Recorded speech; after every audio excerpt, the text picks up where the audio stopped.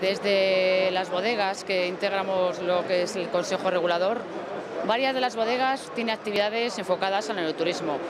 Además es una zona muy activa en el tema, turístico. Se enfocan mucho de bodegas, visita las bodegas, cocatas, visita también a viñedos, también hacemos maridaje, muy interesante esto el maridaje, y esto hace que potenciar lo que es la zona y lo que es el consumo de los vinos. Y es una feria que está muy enfocada al tema exterior. De hecho, pues bueno, vemos que los compradores son todos de diferentes países del mundo. Y creo, creo que nos hemos reunido aquí un, un trozo de cada país, ¿no? del mundo en el tema, en el tema del vino.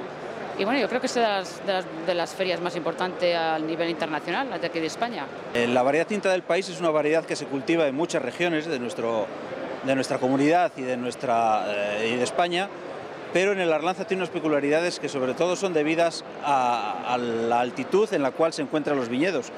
Eso hace que la uva durante todo su ciclo sufra pero como contraprestación pues tenemos unas uvas cargadas de polifenoles, de taninos, de sustancias aromáticas que al final son las que van a dar al vino el aroma, el sabor, incluso el color característico de los vinos de Arlanza.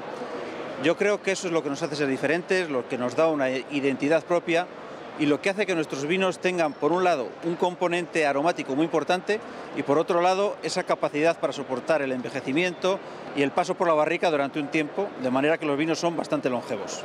Creo que sobre todo los vinos de Arlanza son unos vinos frescos. Estamos hablando de vinos blancos y rosados, donde la frescura, donde la acidez propia de la zona que no es para nada agresiva, sino que lo que hace es hacernos salivar, hacernos eh, sentir unas sensaciones muy placenteras con el vino, pues nos dan un poquito nuestra seña de identidad. ¿no?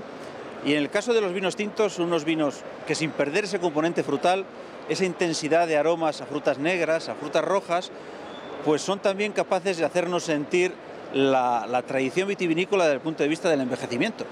Son vinos que el paso de barrica lo soportan perfectamente y donde se encuentra un buen equilibrio entre el azúcar, entre la acidez, el grado alcohólico y los toques que da la barrica, esos toques a vainillas, a coco, a sustancias aromáticas.